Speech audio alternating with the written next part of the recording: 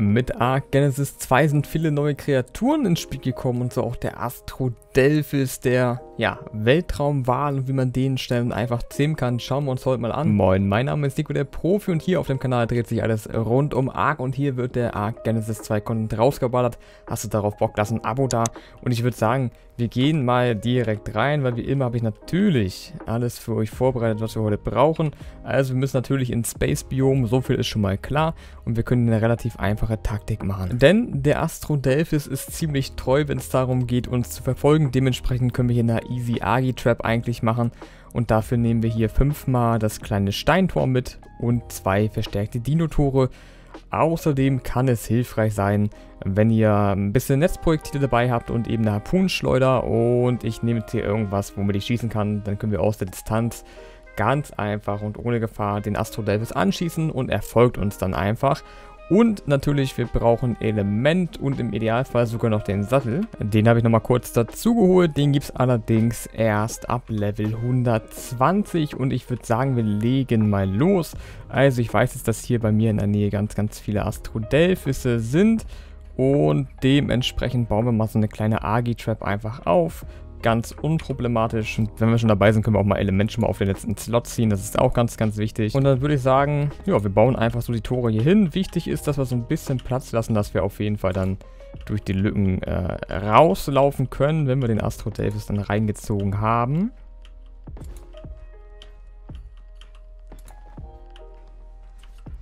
Und dann setzen wir einfach nochmal jeweils einmal vorne und einmal hinten ein Tor hin.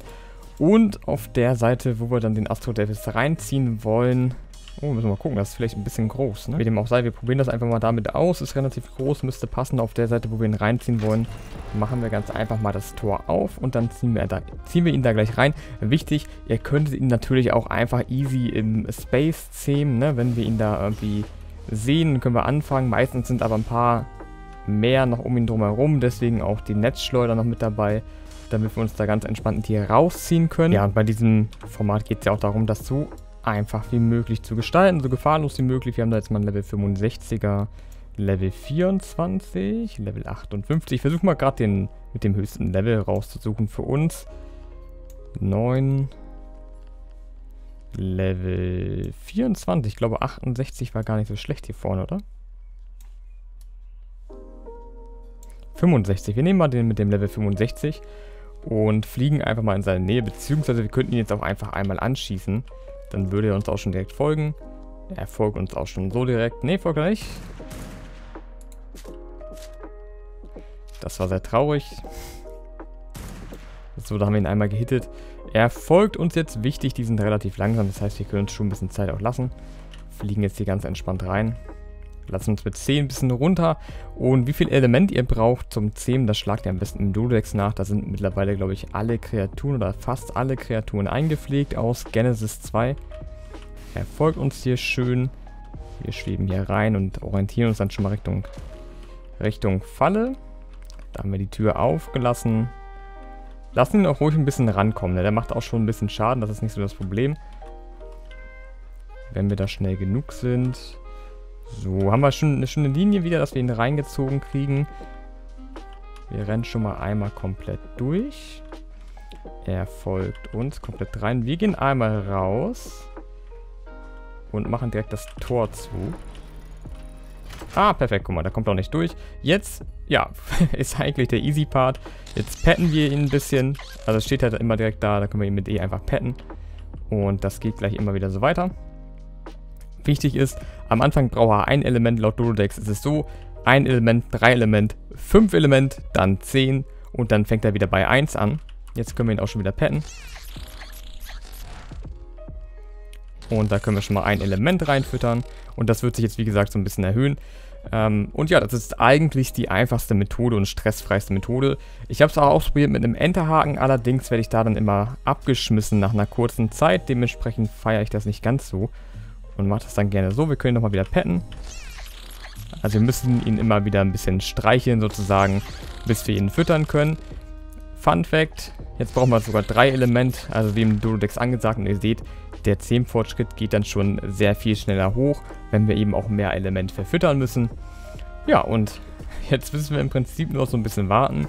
dass wir ihn immer wieder so ein bisschen streicheln können, sage ich mal. Und dann haben wir uns auch schon gleich einen Astrodelphis gezähmt. So, jetzt noch ein zweites Mal streicheln und dann können wir beim dritten Mal wieder Element verfüttern. Und da haben wir ihn schon gezähmt.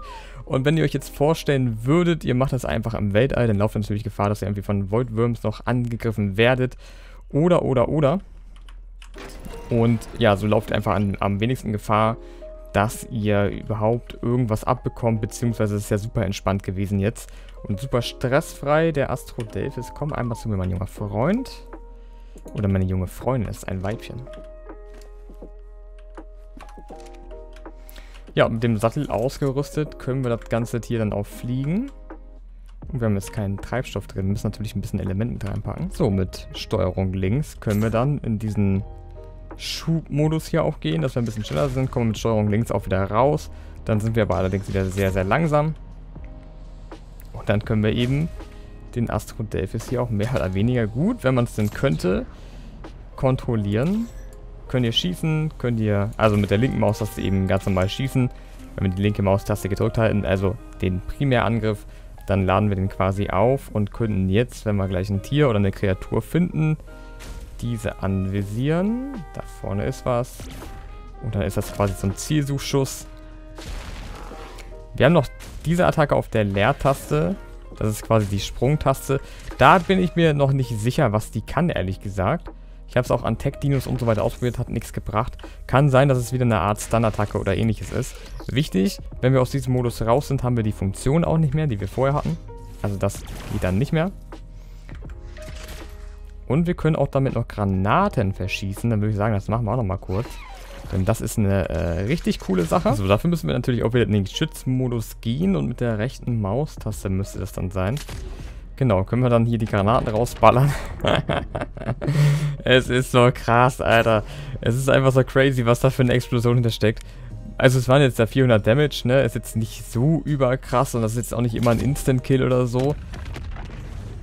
Gut, ist eine Hyäne jetzt gestorben, aber diese, diese Explosion, die da kommt, die finde ich einfach so geil und unglaublich krass. Ah ja, genau, mit C, also es wäre dann quasi die dritte Attacke, kann man noch hier diesen Looping fliegen. Den kann man auch noch steuern und abdrehen, dass man nochmal komplett woanders hinfliegt. Ne? Bisschen die Gegner verwirren. Und mit X, genau, macht man so ein 180 und kann nochmal dann auch in die entgegengesetzte Richtung fliegen. Auch mega nice auf jeden Fall. Also sehr, sehr agil. Ihr könnt auch, wenn ihr zweimal in die linke bzw. rechte Seite drückt, also A und D, könnt ihr auch so eine Fassrolle machen tatsächlich. Es ist schon crazy. Was mir allerdings gerade auffällt, ist, dass der Nahrungswert jetzt heftig gedroppt ist von 5k auf unter 600 gerade. Gut, wir können ihn einfach hochfüttern. Keine Ahnung, wo das mit zusammenhängt, ob das mit dem Fliegen irgendwie zusammenhängt, das ein Grund ist. Beispielsweise, warum das runtergeht. Ah, genau. Also wenn er jetzt, wenn wir jetzt, wir testen das mal nochmal kurz. Also wir sind gerade geflogen mit dem Elementität. Mal immer, wenn wir fliegen. Wir landen nochmal kurz. Das ist jetzt interessant, weil das habe ich nämlich im Dudex gelesen, dass, ähm, dass der Nahrungswert so sehr schnell runtergehen soll angeblich. So verdammt Angst. Also Nahrungswert ist noch weiter runtergegangen. Wir sind jetzt nochmal drauf. Er droppt auch noch wieder weiter runter. Wenn ich jetzt absteige und er jetzt still stehen bleibt, was passiert dann? Geht er dann wieder hoch? Oder bleibt da unten? Wie gesagt, ein Dodex, es geht immer noch weiter runter. Ich hau jetzt nochmal Fleisch rein, dass er dann selbst auch frisst. Also, also es scheint so zu sein, dass man ihn schon heftig füttern muss, damit er die Nahrung nicht verliert. Ob das jetzt so gewollt ist oder nicht, keine Ahnung. Es kann ja auch mal jemand in die Kommentare schreiben, der da vielleicht einen Plan von hat. Dann kann ich das im angepinnten Kommentar ergänzen. So, ich habe jetzt mal geforce-feedet. Also das Essen reingedrückt bis zum Anschlag und wir fliegen und es fängt wieder an runter zu gehen. Das heißt, man muss ihn, wobei jetzt ist es nur kurz gedroppt und jetzt passiert die ganze Zeit gar nichts mehr. I don't know. Wie gesagt, es kann sein, dass es ein Bug ist. Es kann sein, dass es so gewollt ist. Oder dann irgendwas geknüpft ist, was ich jetzt nicht verstehe. Aber aktuell geht es nicht mehr runter, nachdem wir ihn jetzt nochmal gefüttert haben. Sehr interessant auf jeden Fall. Da solltet ihr auf jeden Fall also drauf aufpassen, wenn ihr euch das erste Mal einen Astro Delphis zähmt, dass ihr den erstmal ordentlich füttert, weil es kann sein, dass der Wert erstmal runtergeht. Wenn dir das Video gefallen hat, dann lasst gerne einen Daumen nach oben da, dann wird das Video auch anderen Leuten angezeigt. Ansonsten vielen Dank fürs Zuschauen. Bis zum nächsten Mal und ciao.